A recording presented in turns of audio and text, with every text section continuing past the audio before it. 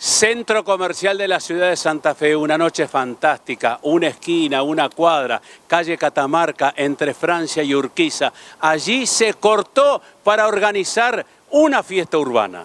¿Se acuerdan ustedes cuando antes llegaba el fin de año y todo el barrio despedía el año, se cortaba la calle, cada familia sacaba su mesa, sus sillas y se celebraba? Bueno, ese fue el espíritu, recuperar ese espíritu de barrio. Quienes viven acá le dan la bienvenida a los que ahora se suman en Torre Catarina y por supuesto el mundo de la construcción estuvo presente un escenario, eh, un equipo, DJ, pero además eh, un conjunto musical conducido por el famoso, el protagonista de la noche, Carubi.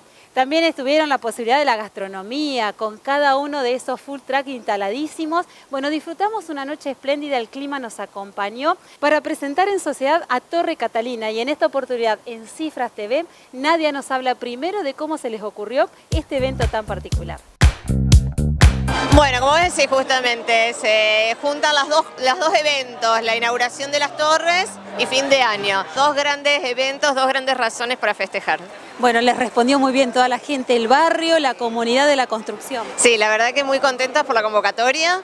Eh, bueno, más allá de la gente que fue convocada, que, son propietarios de las torres, hubo mucha gente que vino de afuera del barrio, de la ciudad, que al ser un evento público, eh, gratuito, abierto, la idea era esa nuestra, de poder hacer una fiesta mucho más amplia y así fue.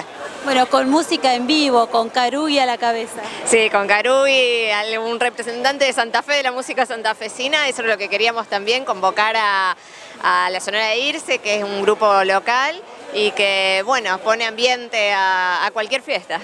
Bueno, Nadia, em, ¿cierran el año como se los ve con esta alegría? Sí, sí, la verdad que estamos muy contentos, muy conformes, bueno, de estas dos torres, Estamos muy conformes también del desarrollo de la empresa que estamos teniendo y bueno, muy conformes por las expectativas que tenemos para el año próximo. ¿Qué se viene? Nunca querés anunciarse. sé que hay varios títulos y varias ubicaciones, pero ¿qué se viene para el 2020? Bueno, se viene una obra que empezamos hace unos pocos meses eh, detrás de la universidad, del UNL, sobre calle 9 de Julio, un producto que te había anunciado hace un tiempo especial estudiantes. Eh, se viene una nueva torre en frente de Plaza Constituyentes y bueno, otras tantas más que después te la voy a dar. Van a estar presentes en ExpoCom. Vamos a estar presentes en ExpoCom, seguramente presentando estas dos nuevas torres que tenemos para comercializar en el año próximo. Y algunos aprovecharon para bailar cuando se seguía tocando y por ahí hubo un break y la gente aprovechó a comer, a tomar algo y después se volvió a la música. Mientras tanto, Nancy seguía conversando con la arquitecta Nadia Dubner. En esta segunda entrevista te vamos a hablar de por qué elegir Torre Catalina, específicamente este producto que todavía está a la venta, que hay unidades que se comercializan, que hay un showroom que podés venir a verlo, a visitar y sobre todo descubrir cuáles son los amenities, las amenidades, decía quien está al frente de las ventas de esto, y disfrutar de esto que es único, en pleno centro, este patio corazón que te aísla del ruido de la gran ciudad. Bueno, a ver, si tuviéramos que decir por qué alguien se tiene que decidir por invertir en Torre Catalina o en Torre Francisca.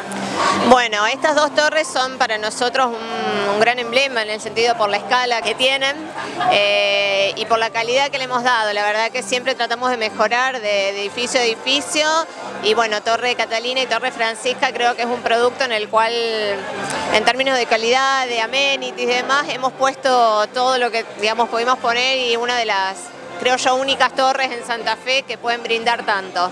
Estamos aquí celebrando la noche en un patio que es poco habitual tenerlo entre torres. No, justamente una de las cosas que me mencionaba era decir, tenemos dos torres en pleno centro y tienen un jardín, un patio con una vegetación increíble, lo que permite que la gente que vive en un departamento pueda también contar con espacio exterior y de expansión, eh, como en este caso.